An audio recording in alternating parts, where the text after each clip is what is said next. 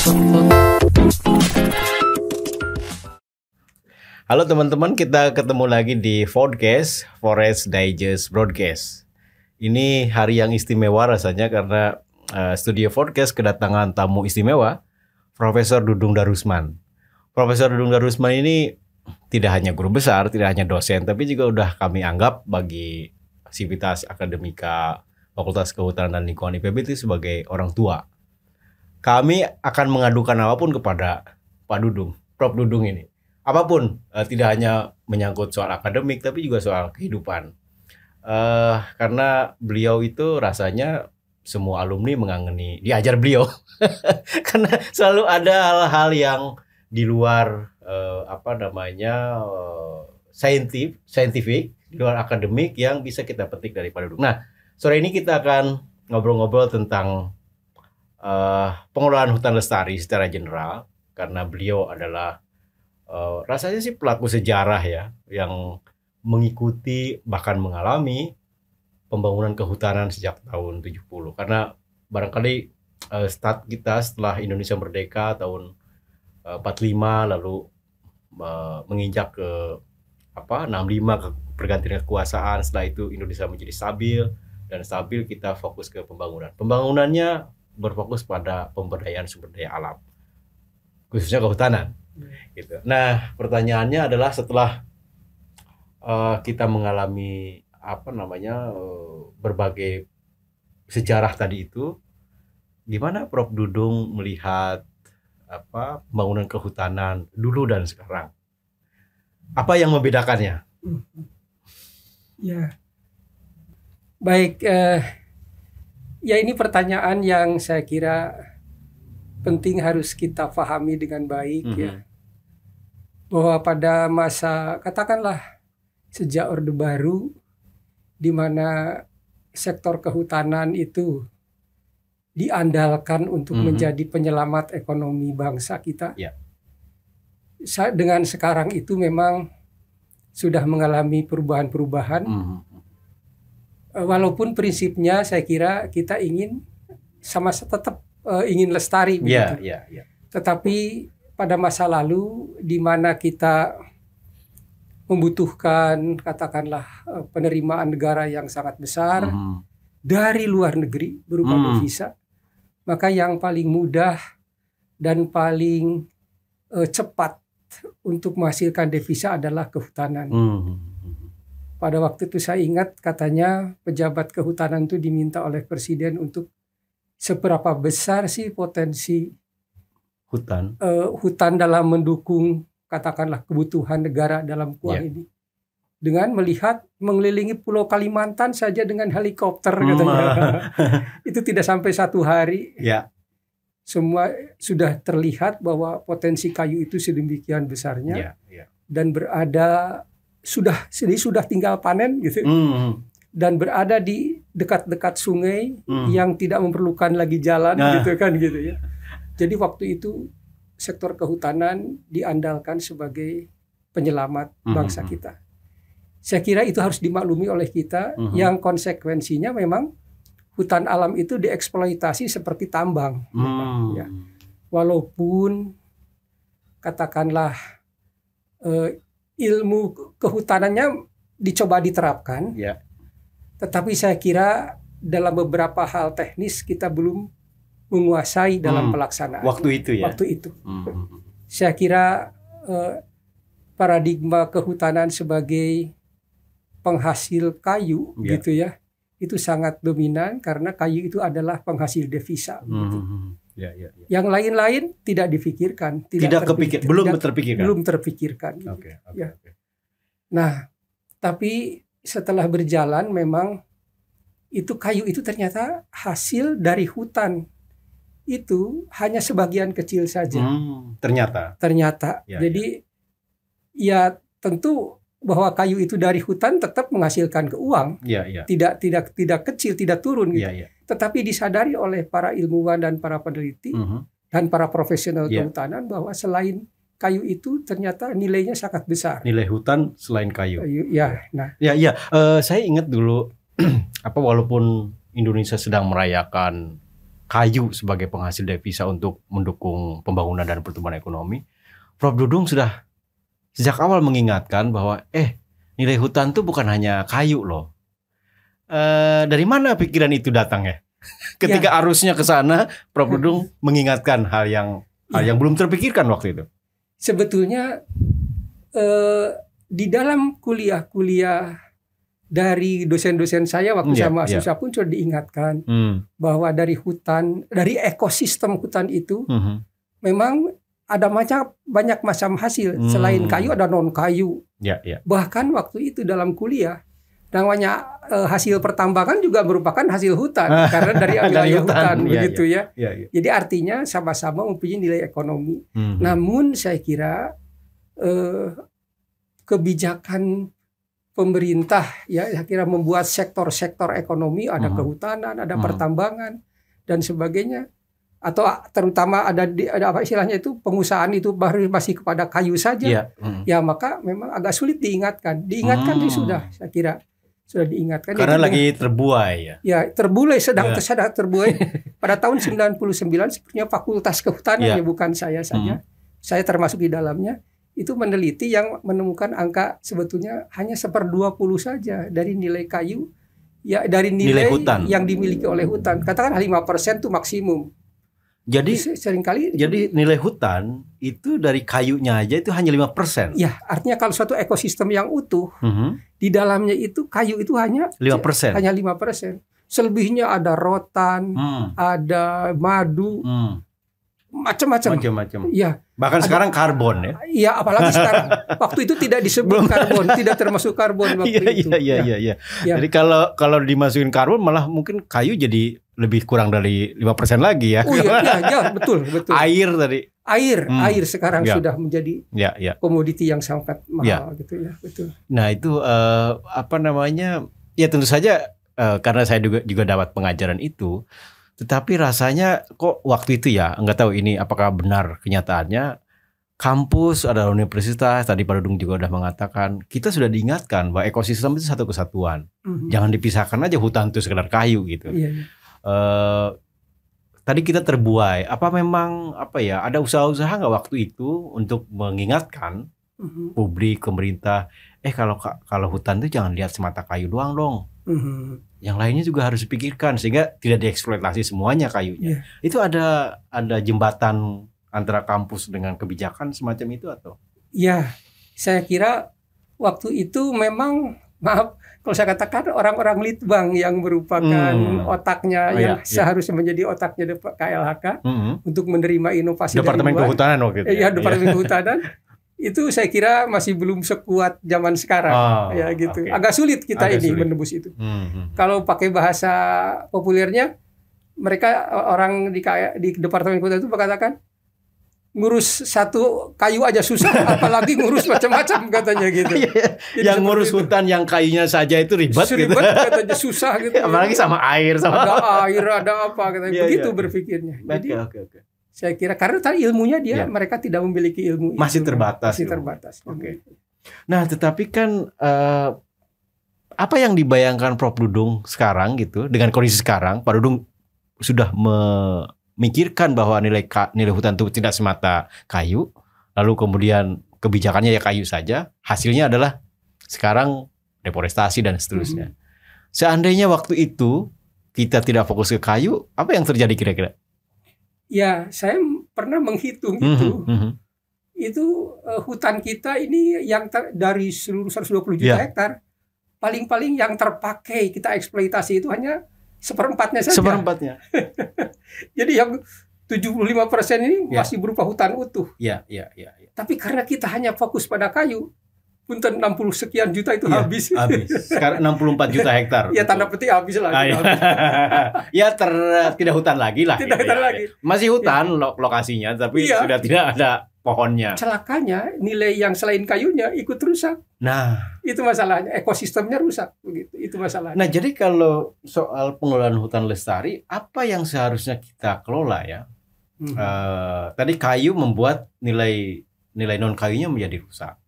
Artinya kalau begitu maka apakah memandang hutan itu jangan kayunya gitu atau gimana? Jadi bukan istilahnya jangan. Oh. dikombinasikan dengan Hmm. baik Oke. dengan hasil-hasil hutan lainnya karena memang keberadaan kayu dengan keberadaan hasil hutan lain itu dalam ekosistem saling mendukung. Saling mendukung. Kalau hanya yang lain non kayu aja dipanen, kayu tidak dipanen, Iya, iya. itu belum tentu juga produktivitas ekosistem akan akan Nah, bagus. nah, Kan begitu pohon ditebang nanti akan muncul yang muda, Iya, iya, yang lebih segar sebagainya. Itu membuat ekosistem malah menjadi sehat. iya, iya, Begitu. iya, iya. Tapi tidak boleh hanya kayunya saja. Iya, iya, iya. Mubazir kita. itu, Mubazir, mubazir. Hmm. Sampai- Ada banyak nilai lain. Ada banyak nilai lain Iya, begitu. Nah, tapi saya pernah membaca publikasi juga dari IPB bahwa nilai hutan kita kalau cuma semata kayu itu memang hanya 400 rupiah per meter persegi per tahun. Tetapi kalau itu diubah menjadi sawit, itu naik nilainya jadi 4 ribuan. Hmm. Diubah jadi perumahan, naik lagi jadi 40 ribu dan seterusnya. Kan itu mengkhawatirkan ya kalau kalau menurut saya karena itu akan mendorong ya sudah dikonversi aja hutan daripada nilainya kecil gitu kita ubah aja jadi perumahan jadi oleh developer sehingga nilainya jadi naik gitu itu pandangan yang salah atau benar ya Ya, ada. kalau dibilang salah, saya terus terang tidak berani Iya, mengatakan iya. salah. Mhm. Tetapi tidak wise, tidak tidak bijaksana bijak, itu. ya, ya. Pertanyaannya saya juga, jangan-jangan ada orang yang tidak perlu udara bersih, ah ada orang yang tidak perlu air bersih. Iya. Ya silakan. Iya, iya. terus eh, bagaimana menyerap polusi, Iya, iya, ah, iya. gitu dan sebagainya. Mhm. Ya orang katakan sawit pun bisa katanya Iya, iya. gitu. Ya tapi kan tidak seoptimum kalau, kalau hutan. hutan ya gitu ya dalam batas-batas tertentu kita harus toleran juga ya ya tetapi jangan keter- keterusan, gitu Keterusan, ya ya. Sampai ekosistem yang justru harganya tinggi itu habis oleh Habis. kita nah ini kan selalu tarik menariknya di situ kita ini Indonesia negara berkembang digolongkan oleh Mhm. orang lain negara ketiga gitu yang sedang membangun tentu saja dan pembangunan pasti akan membutuhkan modal Mhm. dan modal kita itu anugerah terbesar yaitu sumber daya alam. Hmm. Artinya kalau kita ingin jadi negara maju karena faktanya adalah masih banyak apa eh, penduduk miskin Mhm. sehingga harus dinaikin pertumbuhan ekonominya. Iya. Tapi korbannya adalah sumber daya alam. Mhm. Di mana titik temunya ini agar tadi apa eh, kita tidak rusak lingkungannya tapi kita jadi negara maju gitu. Iya. Apakah ada contohnya di negara lain yang seimbang? kabarnya itu di Costa Rica Ah, itu salah satu contoh di Costa Rica itu Amerika di Latin Amerika ya. Tengah Iya, oh Afrika Tengah. Amerika Iya, Tengah. iya. Kabarnya saya Hmm. belum pernah berkunjung Iya, ke iya, sana iya, iya. Mereka ngapain? jadi ekosistem hutan itu betul-betul dimanfaatkan termasuk wisatanya Oke. termasuk segala macam Oke. di dalamnya itu madu dan sebagainya Hmm. dan kuncinya satu memang dilakukan oleh masyarakat lokal Ah, tidak dilakukan oleh pengusaha besar yang datang dari luar iya, iya, iya. iya. gitu ya malah meminggirkan Oke.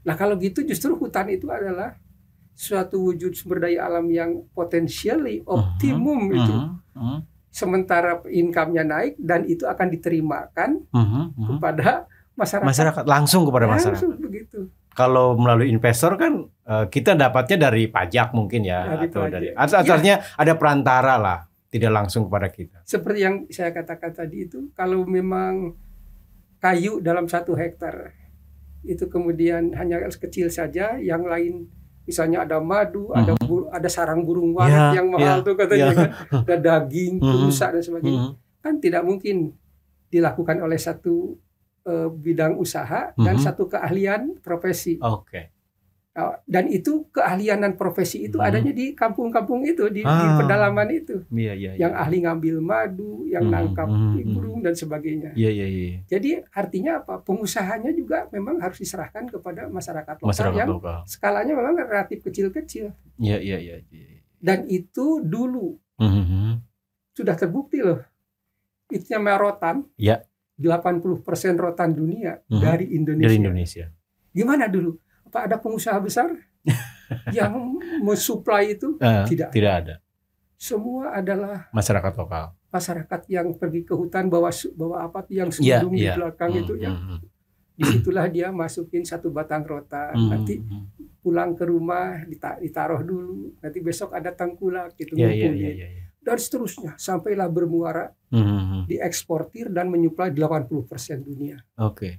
Ya tapi bukan berarti apa namanya kita anti pengusaha kan? Oh, enggak, ya, enggak. ya, karena mereka juga punya hak ekonomi sebagai pengusaha kan. Betul. Tapi bagaimana menyeimbangkannya antara pengusaha juga dapat haknya untuk Hmm. berbisnis di Indonesia dan Iya. masyarakat lokal juga eh, dapat haknya. Itu bagaimana menyeimbangkannya itu?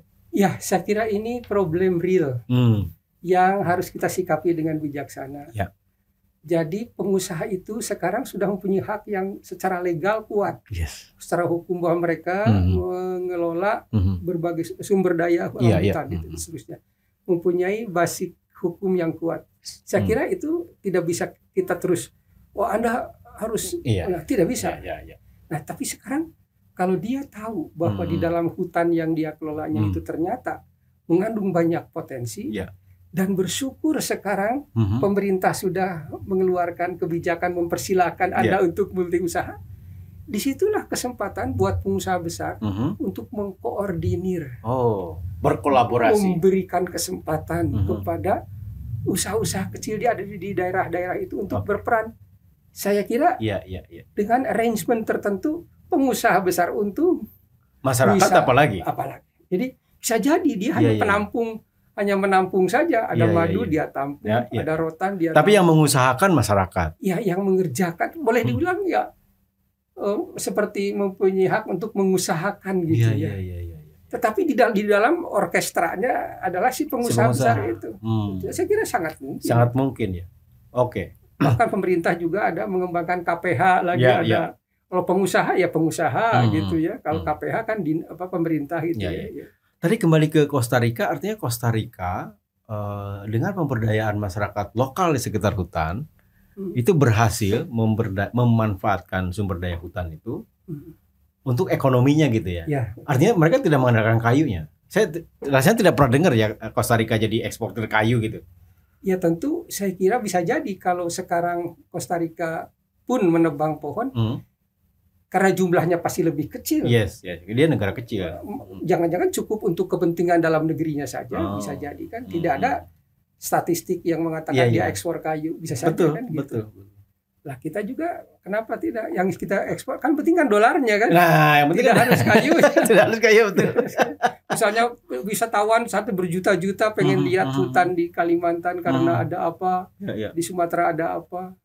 Itu udah bisa juga. Itu udah bisa juga dolar Oke. juga kan gitu. Jadi artinya eh, sejak lama tadi pengusaha sudah mendapatkan apa namanya akses legal yang sangat kuat. Mhm. Kini saatnya pengusaha berkolaborasi dong dengan masyarakat lokal. Saya kira itu Hmm. ya Hmm.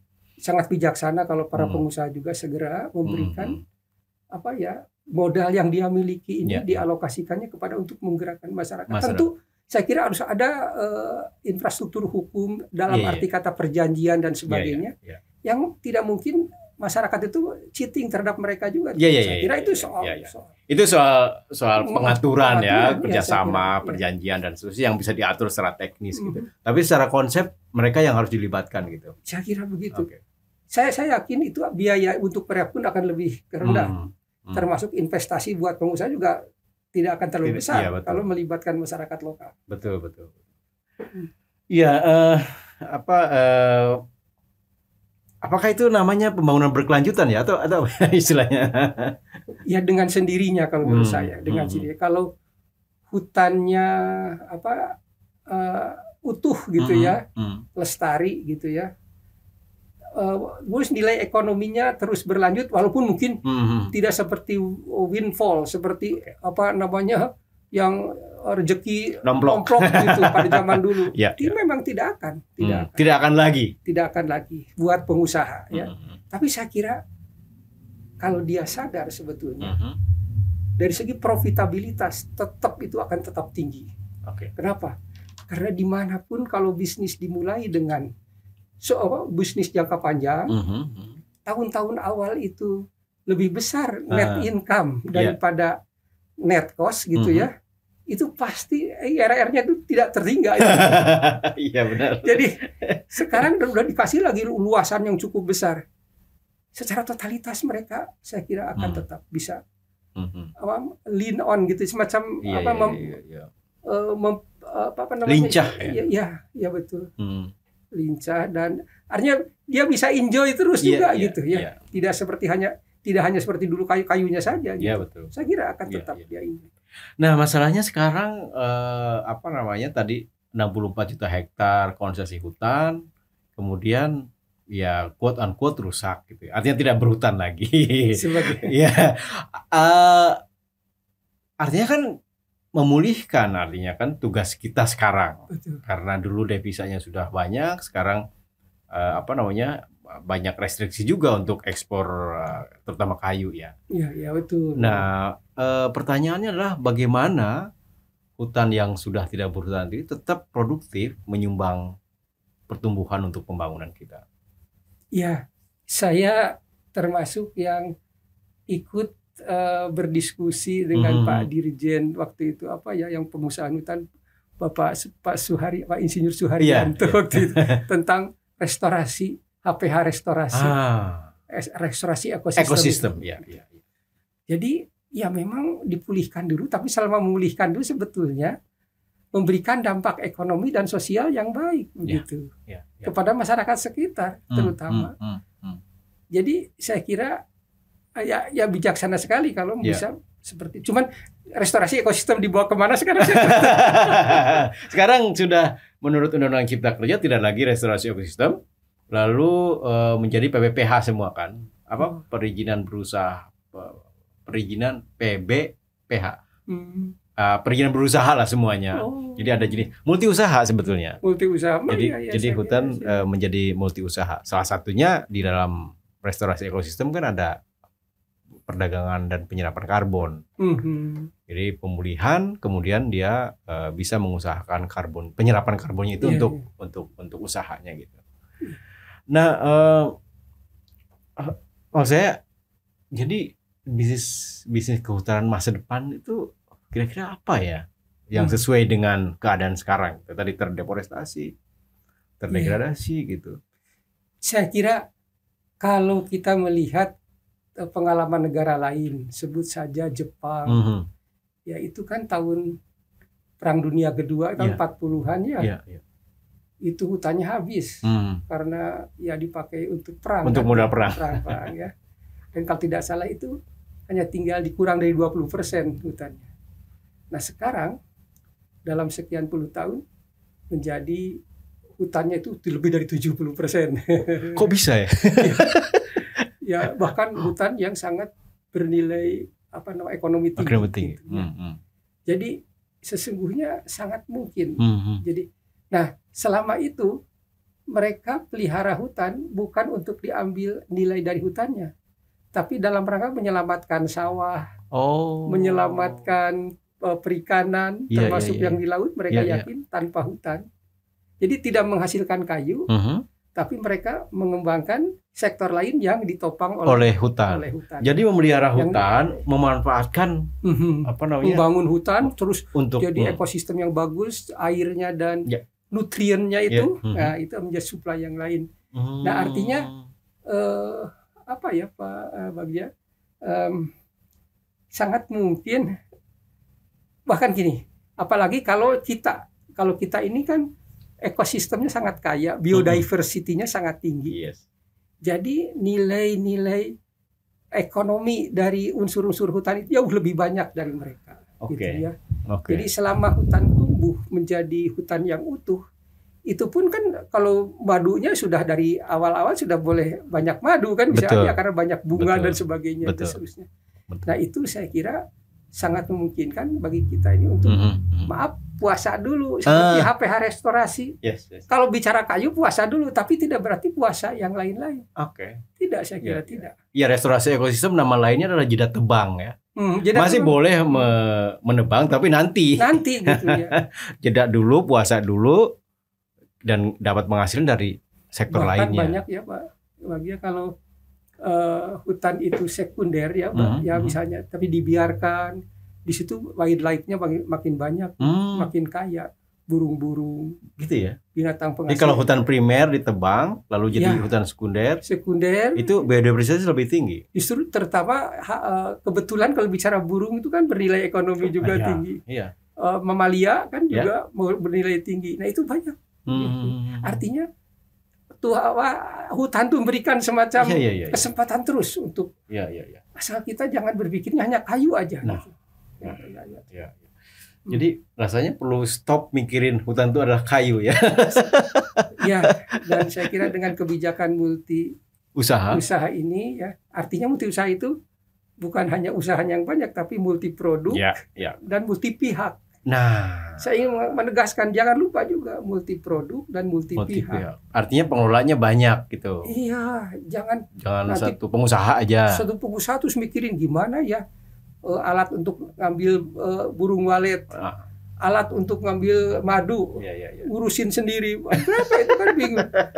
gitu. Maka multi pihak Multi pihak itu kuncinya. kuncinya kunci, saya kira. kunci Tanpa multi pihak saya kira akan kembali lagi terulang lagi seperti yang masa lama. lalu dan bahkan mungkin betul akan lebih repot pengusaha. Ya eh, apa namanya kalau membicarakan sektor kehutanan itu kan kok kayak ke sana mentok ke sini mentok apa namanya dulu pakai eh, jurus investor eh, luar pakai pengusaha hasilnya terdeforestasi kemudian pakai cara yang lain juga rasanya menghasilkan apa konflik lahan Hmm. agraria masih masih terus berjalan nah menurut Prof Dudung pandangannya adalah dari mana sih kita mulai untuk mengolah hutan secara lestari tadi itu.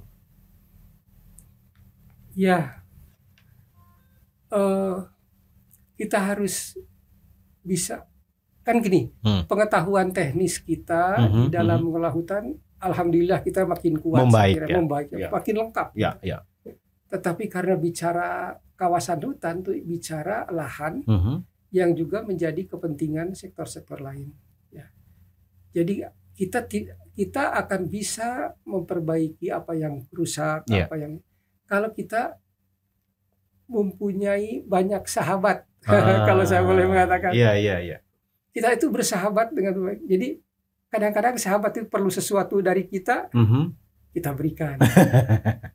Tapi karena yang namanya sahabat, kalau ternyata kita juga kerepotan dan dia juga berlebih, dia ingat Ya. kasih ke kita. Mhm. gitu. Saya kira ini suasana ini dulu harus dibuat gitu ya. Hmm, Ini harus terbangun dulu. harus ya. terbangun Modal gitu ya, dasarnya. ya. Jangan kita dengan alasan apa namanya istilahnya keprofesian Mhm. kita kukuh kepada sesuatu Hmm. yang sebetulnya membuat orang lain itu menjadi musuh Oke. atau bahas terbalik kita dijadikan musuh oleh orang lain. Kalau sudah begitu saya Hmm, kira hmm, hmm, hmm. kalau istilah memulai tadi itu berusaha mulailah kita Mhm. bagaimana membangun Mhm. kebersamaan dengan Nah. sektor yang lain. Saya kira.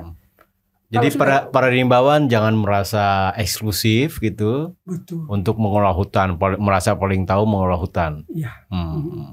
Tahu itu tahu mengelola hutannya, tapi bagaimana agar bisa melaksanakan Ya. apa yang dia tahu itu Ya. harus orang lain juga mendukung. Persis, persis. Harus atas atas apa namanya ya istilahnya kebersamaan, dengan sektor Kebersamaan. lain. Ya, ya, ya. Karena di dalam mengelola sumber daya alam kan tidak hanya sekedar dibutuhkan apa urusan teknis ya. Betul. Di dalamnya ada hukum, pemahaman kebijakan, pemahaman regulasi. Ya. Bahkan mungkin urusan secara fi- filosofi dan antropologi karena tadi ada masyarakat lokal, masyarakat adat ya. Betul. Hmm. Kita tentu tidak menguasai semuanya. Iya, iya. Betul. Dengan masyarakat adat juga harus bersahabat. Nah, hmm. Saya kira begitu. ya, ya. Jangan hanya karena kita bicara ini kawasan udah kawasan negara, Ya. terus orang adat tidak diakui Hmm. oleh kita. Aduh, Hmm. saya kira di situ sih. Ya, ya, ya, ya. Ada penelitian terakhir dari Hmm. eh, dokter yang dari dia dari IPB tapi orang dosen UI mengatakan selemah-lemahnya masyarakat sekitar hutan, mereka punya mekanisme eh, everyday resistance katanya. Hmm. Jadi kalau bicara hukum dia tidak tidak punya pemahaman, punya, Ah, punya pengetahuan, pendukung Ya, ya, ya. dukungan apa pun aturan tidak Ya. memihak ke dia. Ya. Tapi dia hidup di situ dari hari ke hari. Betul-betul punya punya resistance gitu daya ya. tahan. Ya. daya tahan. Jadi kan kalau kita misalnya orang ke hutan apa setiap hari ada di situ. Iya. Ya, ya, Jadi ya, ya. karena akhirnya kita juga tidak akan sanggup kalau namanya Hmm. pakai hukum pakai apa pun dengan menghadapi everyday resistance. Resistance. Itu ada istilah. Saya kagum juga terhadap penelitian itu. Iya, iya, iya, iya. Dan memang kita selama ini maaf banyak kalahnya kita. Hmm. Mhm. Dalam arti apa ya banyak ngalah. Nah, bukan bukan bukan ngalah ya hmm. ngalah lain. Ini betul-betul kalah, kalah kita. Artinya apa? Encroachment itu pengambil lahan hutan itu terus saja berjalan. Ya, ya, ya, ya. Padahal aturan sudah dibuat, ya, ya, ya, segala macam ya, ya, organisasi sudah ya, ya. berubah dan hmm. sebagainya. Itu tetap jalan gitu Karena ya. Karena mereka mempunyai mekanisme yang disebut dengan dalam sosiologi, mm -hmm. antropologi itu everyday resistance. Hmm. Jadi apa namanya pertahanan diri yang terbentuk secara alamiah. Gitu. Ya dari tadi menyimak uh, apa namanya ya, uh, Prof Dudung ini kok rasanya menganjurkan kalau kita punya pengetahuan, please masuk ke dasar rendah hati, ke kerendah hatian mengutamakan masyarakat lokal, mengutamakan apa kolaborasi, mengutamakan apa uh, mungkin itu yang disebut nilai inklusif ya. Tapi saya ingin saya ingin nanya uh, apakah kalau menjadi makin apa namanya makin banyak ilmu itu akan ke sana ujungnya? Oh, saya tidak merasa itu karena karena apa ya banyak ilmu. Hmm. Ini sebelum saya punya banyak ilmu eh, sekarang oh, belum tentu sekarang udah yeah, yeah. namanya aja profesor ada yang lebih banyak yeah, yeah. tetapi perjalanan hidup saya mm -hmm. dari orang yang tidak memiliki apa-apa mm -hmm. bisa jadi seperti ini mm. itu karena saya banyak apa ya istilahnya itu berteman mm -hmm. bersahabat dengan orang-orang baik dengan mm. orang artinya saya itu uh, apa ya istilah rendah hati dalam arti kata bukan apa ya bukan bukan minta-minta yeah, yeah, yeah, yeah. bukan yeah, yeah. bukan berarti saya merendah supaya dikasih tidak yeah, yeah, tidak yeah. tidak tetapi merendah untuk apa pun orang lain perlu apa kepada saya dia hmm. akan berani yeah, yeah. meminta kepada hmm. saya hmm. dan hmm. saya, saya yang saya bisa hmm. saya tolong dan akhirnya balasannya yeah, yeah. jauh lebih besar kepada yeah, saya yeah, dari yeah. itu jadi peluang untuk mendapatkan kebaikan dari orang mm -hmm. ternyata bertambah banyak mm -hmm. apabila kita mulainya dari kita berada pada posisi di bawah, hmm, hmm, hmm. bukan di bawah dan berkata ah, ini ya, tapi silakan orang ya. lain mau apa, hmm, hmm, hmm. dan kalau saya bisa, yeah, ya. saya yeah. akan yeah. lakukan, akan saya bantu, hanya dengan sedikit saja. Hmm. Mereka itu kemudian balasannya karena yeah, mereka yeah. lebih mampu, hmm, hmm. bisa lebih besar dan itulah yeah. saya seperti sekarang ini, hmm. apa sekolah lulus lulus SD iya, iya, iya. ya ditolong Pak Kepala Sekolah karena saya sering ngebantu Pak Kepala iya, Sekolah iya, iya. sampai kepada di IPB pun ayah meninggal di waktu hmm, hmm. tahun pertama karena teman-teman kalau belajar mata pelajaran itu responsif kepada saya uh. maka mereka membiayai saya menghidupi iya, saya. Iya iya iya. Enggak tapi uh, ter, apa namanya ada ada ada semacam uh, tegas sekali bahwa Prof Dudung ini uh, berpihak mengutamakan yang lemah. Saya Jadi kira. ketika ada kebijakan, please lihat masyarakat adat. Masyarakat hmm. adat jauh jauh lebih resilient tadi ada iya, iya. apa everyday resistance. Iya. Kemudian please apa usaha kecil. Hmm. Please uh, kepada jadi memulainya itu dari yang lemah, memulai dari yang tadi makanya saya sebut rendah hati itu. Uh, apa memang uh, filsafat pengetahuan seperti itu ya? Iya, saya kira hmm. betul. Saya ternyata ilmu ekonomi ya. yang katanya ilmu serakah, ya. ternyata ekonomi itu akan kuat. Uh -huh. Kalau level ekonomi masyarakat itu cenderung berada pada posisi yang rata-rata sama. Oke. Okay yang uh, gini rasionya rendah. Ya, ya. Eh maaf, istilahnya apa tuh gini rasio yang yang ketimpangannya, ketimpangannya rendah. rendah. Ketimpangannya ya, rendah. Ya, ya. Begitu makin timpang, hmm. lemah itu negara itu. Hmm, hmm, hmm. Demikian juga masyarakat. Ya, ya, ya, ya. Makin orang kaya di satu kampung ya, ya orang kaya sekalipun orang miskin sekali. Ya, ya. Tidak akan banyak progres dari masyarakat. Hmm. Tapi kalau yang merata gitu ya, dalam arti kata tidak tidak sama. Ya, ya, ya. Tetapi makin banyak ya orang yang mempunyai level kekuatan ekonomi, kekuatan ke intelektual ya. dan sebagainya rata. Saya kira ini dan oh, masyarakat adat udah berbagai ya. udah membuktikan diri. Udah membuktikan diri itu dan ilmu hmm. mereka itu apa sebutnya local knowledge, hmm, hmm. traditional knowledge itu ilmu yang tiada batasnya mereka ya, miliki ya, ya. itu. Hmm, hmm. Dan itu bisa membuat hutannya seperti tadi contoh rotan. Ya, ya. Itulah traditional Hmm. knowledge yang ada di masyarakat adat loh. Hmm. Mengapa rotan bisa 80% menguasai dunia? Ya, ya, ya, ya. Bukan karena pengusaha besar. Hmm, hmm, hmm. Walaupun sekarang saya tidak berarti ingin mengusir pengusaha. Iya. Saya kira tidak. Ayolah. Kita butuh pengusaha, kita butuh pengusaha. gitu. tetapi jangan kebutuhan itu meninggalkan yang Iya. yang kecil. toh itu juga akan menguntungkan mereka. Yes. Saya yakin Hmm. akan menguntungkan Hmm, mereka. hmm, hmm. Iya. Dengan mengutamakan yang kecil akan akan mendorong yang besar. Saya tak saya saya kira balasan dari orang kecil kepada pengusaha akan jauh lebih besar Hmm. daripada keikhlasan pengorbanan dari pengusaha kepada orang kecil. Hmm, hmm. Ah, terus Nah, terang. itu dia. Karena padahal pengusaha lebih pintar. Itu hukum ekonomi ya? Iya, hukum ekonomi. Betul. Iya, iya. Iya, saya kira. Jadi tidak ada saya belajar ekonomi saya pikir nantinya saya jadi orang serakah. Justru tidak. Hmm, hmm, hmm. Justru tidak. Apalagi kalau ditambah lagi ilmu ekonomi ya dari profesor saya nih Hmm, dia di Amerika itu mengatakan suatu saat mungkin katanya ilmu ekonomi itu apa namanya menjadi ilmu yang justru akan membuat orang rendah hati katanya. hmm. Malah begitu ya? Iya. Karena karena saya baca nonton film judulnya Wall Street. Eh, itu ada tokohnya bilang bahwa serakah itu baik. Ya karena itu tentang kapitalisme ya. Iya, iya. Tapi eh, apa justru ada seorang profesor di Amerika bilang bahwa nilai ekonomi apa eh, ekonomi akan membuat tadi apa? Oh iya, oh, Justru sebaliknya iya, gitu. menjadi menjadi rendah hati. Benar-benar. Jadi saya pernah ditanya, saya bikin paper ya, ya. makalah di Amerika tentang kemajuan Indonesia. Hmm. Terus dalam obrolan ini dia tanya, "Yuk, eh, apa namanya, men- mensitir si Anu si Anu yang Mhm. ahli-ahli ekonomi yang dipakai Orde Baru waktu itu Ya. orang Amerika. Mhm. You know katanya, Anda tahu nggak? Itu di Amerika tidak laku. itu Kenapa? Jadi orang-orang yang sebetulnya tadi itu eh, mengajari serakah itu, Hmm. apa di Amerika justru begitu? Hmm. Itu di Amerika bisa stabil karena ada apa yang social service, Oke. pelayanan sosial, Ya, ya, ada program itu program Hmm, ini hmm, yang sebetulnya tidak serakah, Tidak serakah. menunjukkan ketidakserakahan. hmm, bilang, hmm. Kalau di sini tidak laku dia. Oh gitu malah ya. Hanya kita Hmm. kita memang memang kadang-kadang kalau punya ilmu itu suka apa ya suka Suka sempit. sempit begitu. Ya, ya. ya itu tadi pentingnya rendah hati ya supaya apa rendah hati itu tahu apa yang tidak tahu apa menyadari bahwa kita tidak semua tahu Iya iya betul Hmm. betul.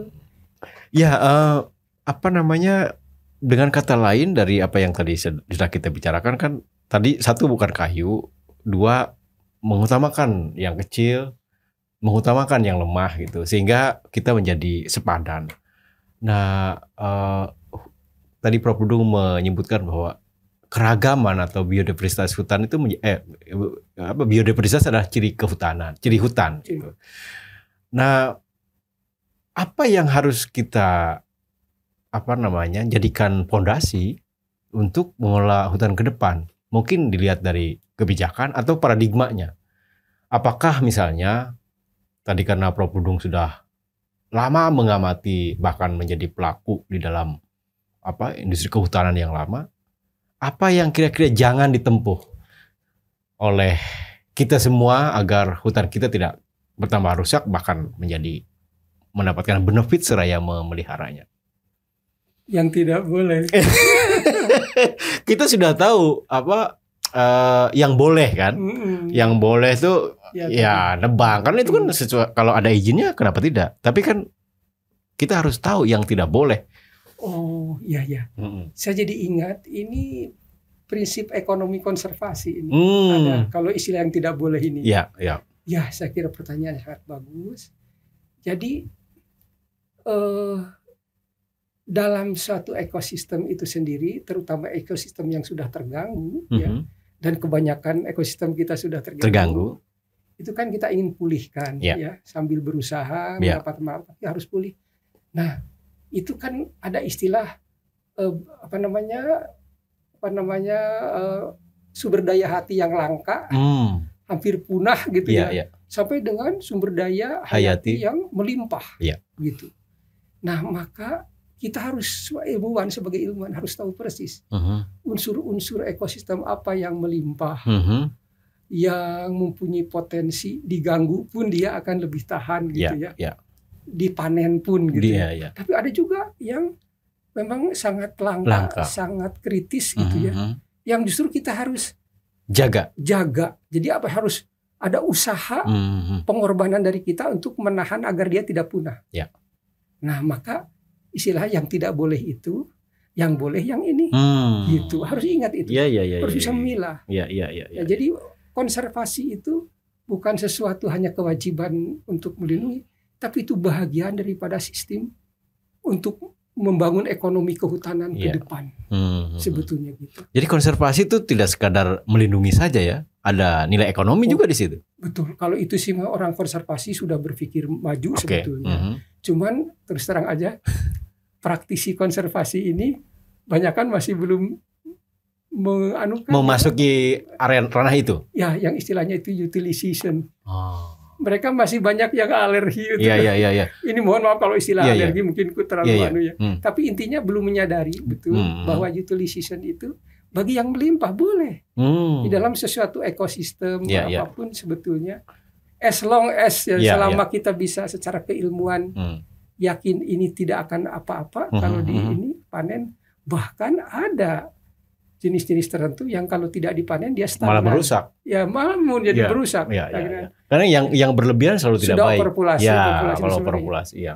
Jadi, itu yang bisa dimanfaatkan. Ya, itu yang diamanatkan kepada ilmuwan itu harus hmm. memikirkan hal itu. Dan itu adalah ilmu konservasi ya. Ilmu konservasi. Jadi kembali di sini pertanyaan bagian ini iya. sudah menjurus kepada pentingnya konservasi. Hmm. Cuman konservasi yang berpikir ekonomi maaf. Nah. yang berpikir untuk bukan bukan kepentingan itu tapi bahwa agar coba bayangkan. Ya. Kalau untuk mengusahakan menjaga yang langka, mm -hmm. dari mana uangnya kalau hanya nunggu ini gini Pasti, aja? Ya. Ya. ya tentu kan dapatnya dari tadi dari yang yang berlimpah itu. Ya, yang, dari Jadi kita mengusahakan memanen yang melimpah untuk melindungi yang langka. Iya betul. Itu betul. itu inti konservasi iya, ya. Malah saya ingin mengatakan itu konsepnya ekonomi konservasi. Ah, jadi ada ya ekor. Artinya kan itu seperti dua hal yang bertentangan ya kan? Ya. Saya ingat saya di apa namanya di sumpah ya. itu ekonomi itu perusak hutan, hutan. Indonesia ya, ekonomi. Ya, ya, ya, ya, ya. Tapi masalahnya ekonomi yang mana, mana? gitu ya. Betul. Justru kalau orang konservasi bisa mengedepankan bahwa itu adalah ekonomi. Nilai ekonomi. Wah, hmm. itu sangat selamat nih negara yeah, iya. bangsa apa. Saya pernah dengar ada istilah bioprospeksi itu. Iya, ya kan? Betul. Apa namanya? Nah, nah ya. sumber daya hayati iya. tadi ya. apa uh, ya kalau kita bisa memanen yang dengan cara tidak merusak, misalnya ya. dengan genetikanya saja gitu. Betul, betul. Itu itu itu bisa memungkinkan kan? Hanya mungkin kalau obat itu aktif substance saja apa namanya yeah. kandungan yeah, yeah. bahan kimia yang aktifnya di, dicari diambil gitu ya. uh, di, mungkin juga dibuatnya secara artifisial bisa aja. Ya. Tapi kan berasalnya dari biosproses dari, itu ya, dari hutan tadi apa sumber daya hayati tadi. Terlebih lagi kalau misalnya tadi itu dipanen nah ini ini hmm. hmm, hmm. di Indonesia masih sangat alergi tertutup untuk istilah hmm. perburuan. Hah. Apa namanya uh, taman buru. Taman buru ya saya kira itu negatif itu banyak maknanya. Ekses, banyak ekses ya. ya. Kenapa banyak ekses? Karena tidak dilakukan oleh ilmunya, hmm. tidak ilmuwannya diserahkan kepada maaf yang ahli menembak. Iya, Bukan iya. ahli ilmu dinamika populasi, ya, tetapi ya, ya. kepada kepada ahli menembaknya. Ahli menembaknya kan. Yang gitu. akhirnya yang terjadi hanya pembunuhannya ya, aja kan. Eksesnya yang ter... Padahal kalau perbu, taman namanya juga taman buru itu bisa menghasilkan secara ekonomi tanpa uh, apa namanya uh, mereduksi populasi satu jenis hewan kan. Saya dengar saya dengar oh ya Kruger Park itu menjadi adem ayem sekarang ini uh mhm. -huh. apa namanya tenang gitu uh mhm. -huh. karena uh, di perburuannya sudah dikelola secara profesional. Nah, Iya. Justru perburuan liar tidak ada. Tidak ada. Justru, sudah. Nah itu dia. Uh, apakah ini da ilmu dasar ekonomi juga ya? Kalau misalnya kita melarang sesuatu, justru orang akan melakukannya. Tadi misalnya oh, apa kita melarang berburu. Mm. Sementara ada kebutuhan orang untuk berburu karena hobi, yeah. karena mungkin kebutuhan.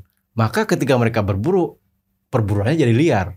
Ya, jadi gini uh, jelas aturannya melarang, ya. hmm, hmm. tapi uh, sekarang dilarang menjadi, menjadi berburunya menjadi langka. Ya. Untuk menyalurkan konsumsi ya. berburu hmm, itu hmm. menjadi langka, dia berani bayar berapapun. Nah. Hmm kepada siapa pun yang dengan bisa. cara hmm. apa pun yang bisa menyediakan yang bisa ruang berburu. Hmm. Ya, ya itu pasti. Hmm. Jadi saya kira kenapa kita membiarkan seperti ya, itu ya, ya, dari ya. lebih baik menyalurkan. Memang orang ber boleh bertanya, maaf katanya penegakan hukum di Indonesia tidak begitu, Ya, ya. ya tentu saja kan kalau sudah lihat manfaatnya nanti barangkali hmm. kesadaran untuk menjadi lebih kuat bisa hmm. saja kan bisa lebih taat ya, ya sekarang gimana kalaupun mati-matian hmm. orang konservasi menjaga hmm. tapi kalau apa namanya pendapatannya rendah konservasi jadi tidak menguntungkan ya artinya buat dia aduh sampai udah mau pergi aja masih tidak masih perut lapar iya, iya, iya, anak iya, iya. gimana dan sebagainya ya itu kalau kalau sudah hmm, hmm, hmm. jelas income-nya jelas gajinya hmm. jelas fasilitasnya jelas saya kira bagi penegakan hukum ya. akan semakin kuat. Ya. Artinya konservasi juga tidak mengabaikan ekonomi, justru konservasi malah uh, mengedepankan ya. ekonomi ya. Bahagia memang ini kita ini harus betul-betul memahami ekonomi itu apa sih? Hmm. Ekonomi itu cara berpikir, okay. sebetulnya. Bukan bukan apa namanya untuk katakanlah mencari hmm, keuntungan. Usaha, keuntungan. Hmm, okay. Ekonomi itu cara berpikir. Jadi hmm. di dalam sektor apa pun sebetulnya ada ada metode ekonomi. ekonomi. Misalnya tadi konservasi yeah. sebetulnya hmm. apa iya konservasi itu akan jalan kalau tidak ada income? Hmm. Itu ekonomi itu. Iya yeah, iya yeah, betul. Itu betul. Ekonomi. Betul. itu kalau tidak berpikir pertanyaan seperti itu hmm. berpikir ekonomi ya seperti masa lalu kita. Iya iya iya. Ya. Jadi kembali ke apa uh, kalau konservasi hanya mikirnya melindungi saja melindungi. tanpa memanfaatkan artinya melindungi tapi juga sambil menunggu yeah, yeah, yeah. dikasihani oleh uh. awalnya internasional lah apa WWF negara, negara donor yeah, atau yeah, apa yeah. segala pun sekarang udah nggak udah, udah begitu lagi ya? ini lagi hmm. orang nggak mungkin lagi yeah, itu mungkin dan itu pemikiran yang kuno ya artinya hmm. kalau konservasi tidak memasukkan unsur ekonomi karena supaya bisa simultan keduanya maka hmm. konservasi harus juga ditepang oleh ekonomi. Iya. Kira-kira gitu ya. Iya. Oke. Uh, apa apa apa namanya masih pengen ngobrol tetapi uh, nanti kita sambung di uh, podcast berikutnya dengan Prof Dudung karena ada masih banyak ilmu yang bisa kita gali dari hmm. beliau. Sampai ketemu di podcast berikutnya.